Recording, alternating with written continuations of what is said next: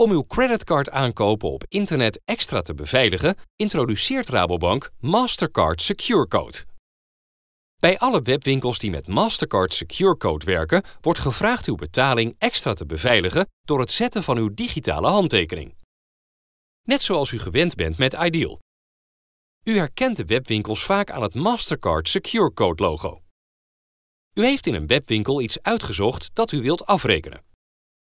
U gaat naar de virtuele kassa. Kies voor Betalen met creditcard. In sommige webwinkels moet u het logo selecteren van uw creditcard. Kies dan voor Mastercard. Om af te rekenen toetst u, zoals u gewend bent, uw naam, het nummer van uw creditcard en de vervaldatum in, plus de CVC-code. De CVC-code bestaat uit de laatste drie cijfers naast uw handtekening achterop de kaart. Als alles klopt, bevestigt u de betaling. In webwinkels zonder Mastercard Secure Code is uw betaling nu afgerond.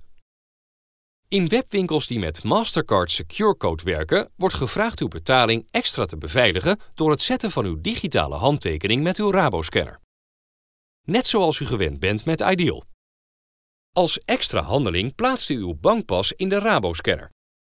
Toets de pincode in op de Raboscanner en klik op OK. Daarna gebruikt u de camera aan de achterzijde van de Raboscanner om de kleurcode op uw beeldscherm te scannen. Zodra de Raboscanner de kleurcode herkent, toont deze een samenvatting van de te verzenden opdracht of opdrachten.